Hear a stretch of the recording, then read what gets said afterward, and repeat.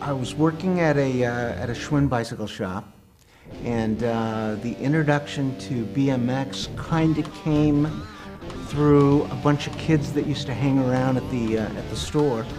And uh, they used to talk about these bicycle races at Indian Dunes Park after the mini cycle races on Sunday. And they kept saying, hey, you know, we should go out there and race. Why don't you guys take us? So a couple of us uh, said, sure. So we got together on Sunday afternoon. We drove out to Indian Dunes Park. Um, and they used to race bicycles on the mini cycle course there.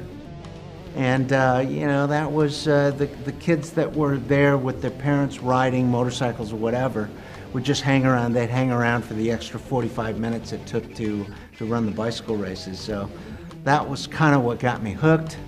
Uh, we went out, saw what the kids were riding, and, and the 100 yard straightaway, and then the turn. Um, it's like, this is ridiculous because all you need to do is change your gear and do this and do that to your bike, and you'll blow everybody away. So at that time, there was Rick's Bike Shop, and there was the Canoga Cycle Center team.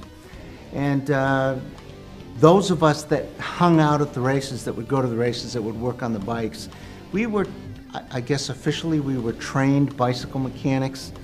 So whatever that means officially. Uh, we, we had some mechanical background in terms of operation of the bike, how to fix them, how they worked, how to make them efficient. One by one, we, as we started to go out there, we geared the bikes up. Um, the first time we went out, the guys had the high gear, were laid off the line, but as soon as you got your stride, blew everybody away we modified a three-speed coaster brake hub and locked out one of the gears and we set up a bike with what we called the two-speed clutch. And then they had the start advantage and then they click it into high gear and take off. That was kind of fun. There was nothing illegal about it and ultimately as we started to progress in the next year or two, uh, we did go to places where they said, oh, you cannot race a two-speed. And they basically blocked us out because, you know, you were just winning all the time.